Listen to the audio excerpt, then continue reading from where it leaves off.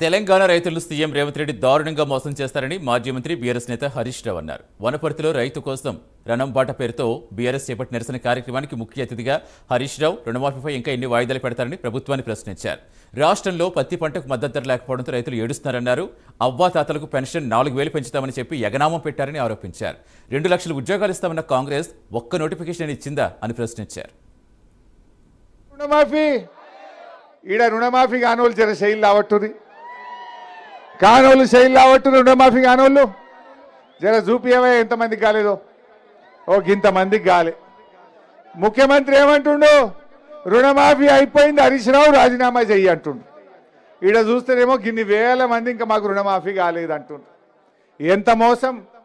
మొదలేమో నలభై ఐదు వేల కోట్లు అన్నారు దాని మళ్ళీ ముప్పై ఒక్క వేల కోట్లకు చేసిండ్రు. బడ్జెట్లో అసెంబ్లీలో ఇరవై ఏడు వేల కోట్లు పెట్టిండ్రు.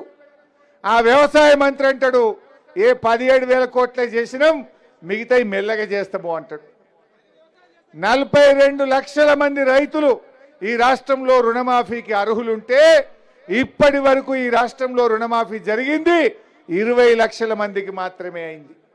సగం మందికి కూడా రుణమాఫీ కాలే. దానికి చాలా కోతలు పెట్టింది ఏం చెప్పిండు ఎలక్షన్ల ముంగట? వడ్లకు బోనస్ మక్కలకు బోనస్ పత్తికి బోనస్ జొన్నలకు బోనస్ శనగలకు బోనస్ అన్ని పంటలకు బోనస్ ఇస్తామన్నారు. కానీ ఏమైంది ఇప్పుడు? బోనస్ బోగస్ అయిపోయింది. పోనీ అదన్నా సరిగిచ్చిండా? సన్నాలకు మాత్రమే బోనస్ అన్నాడు. ఇవాళ వనపర్తిలో మీరు అడుగుండ్రు ఎక్కడన్నా సన్నాలు కొన్నారా ఏనన్నా పత్తి కొంటున్నారా ఎక్కడన్నా ఏడు వేల ఐదు వందల ఇరవై ఒక్క రూపాయలకు మద్దతు ధర ఉన్నది ఇలా పత్తికి. కానీ పాపం రైతులు ఐదు వేలకు ఆరు వేలకే పత్తి అమ్ముకుంటున్నారు. పత్తి రైతులు ఈ రాష్ట్రంలో గొలగొల ఏడుస్తున్నారు. ఖమ్మంలో మార్కెట్లో ధర్నా అవుతున్నది. వరంగల్ మార్కెట్లో ధర్నా అవుతున్నది. కానీ రేవంత్ రెడ్డికి చీమ కుట్టినట్లేదు. ఇటు పత్తికి మద్దతు ధర వస్తలేదు. వడ్లకు కొబ్బరికాయలు కొట్టింది తప్ప సంచులు రాలేదు. ట్రాన్స్పోర్ట్ ఫైనల్ కాలేదు. మిల్లులకు అలాట్మెంట్ కూడా కానటువంటి పరిస్థితి ఉన్నది. అంటే బోనస్ బోగస్. రైతు బంధు ఎగబెట్టిండు. రుణమాఫీ అయితలేదు. ఇవన్నీ చూస్తే అంత ఆగమాగం చేసిండు. ఎగబెట్టిండు ఏమంటాడే? ఎగబెట్టిండు అంటారా అనరా? నాలుగు వేల పింఛన్ ఎగబెట్టిండా లేదా? ఏం చెప్పిండు? వంద రోజుల్లో మా ప్రభుత్వం వచ్చిన వంద రోజుల్లో అమలు చేస్తామని బాండ్ పేపర్లు రాసిచ్చి కాళ్ళల్లో చేతులలో మొక్కలేదా వీళ్ళు? ఇప్పుడు ఈయన వచ్చి పది నెలలే. పది నెలలైతే అయితే ముసలాళ్ళ పింఛన్ ఎనిమిది నెలలే పడ్డాయి రెండు నెలలు ఎగబెట్టిండు. రెండు వేలు ఇచ్చిండు మన కేసీఆర్. రెండు వందలున్న పెన్షన్ను పదంతలు పెంచి రెండు వేలు మన కేసీఆర్ ఇచ్చిండా లేదా? మరి వీళ్ళు రెండు వేల నాలుగు వేలు డబుల్ చేస్తామన్నారు చేసిండ్రా? అది పెంచలే కానీ రెండు నెలలు మాత్రం కోత పెట్టిండు. మీరు మీరు పాస్బుక్ ఇంటికి పోయినాక మంచిగా చూసుకోండి. ఈయన వచ్చి పది నెలలు నిండి పదకొండో నెల నడుస్తుంది.